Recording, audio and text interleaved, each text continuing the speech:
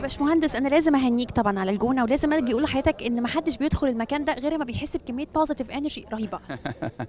ومن كتر ما الناس سعيدة هي اللي بتطلع ال positive energy مش المكان. السنة دي آه، اختيار أفلام كتيرة تكريمات في كمان فعاليات كمان مختلفة. إزاي اشتغلتوا على الدورة الثالثه شوف هو كل اللي قايمين بالعمل استفادوا من تجربة السنتين اللي فاتوا وكل سنة الكلام مع المخرجين ومع المنتجين ومع الممثلين نفسهم بيديهم آه، دفعة وبيشرح لهم إيه اللي ناقص وإيه اللي ممكن يعملوه أحسن وإيه اللي ممكن يعملوه زيادة يعني. فده وضع طبيعي إن كل عيل عنده سنة مش زي عيل عنده ثلاث سنين يعني. بس هو لا ده بيبي قمر. حياتك أنا عارفة إن أنت بيكي قوي وبتاخد بالك من التفاصيل. إيه اللي أنت شفته الدورة اللي فاتت؟ قلت له مش عايزة أشوفه في الدورة الثالثه الألوان اللي كانوا منورين بيها المارينا.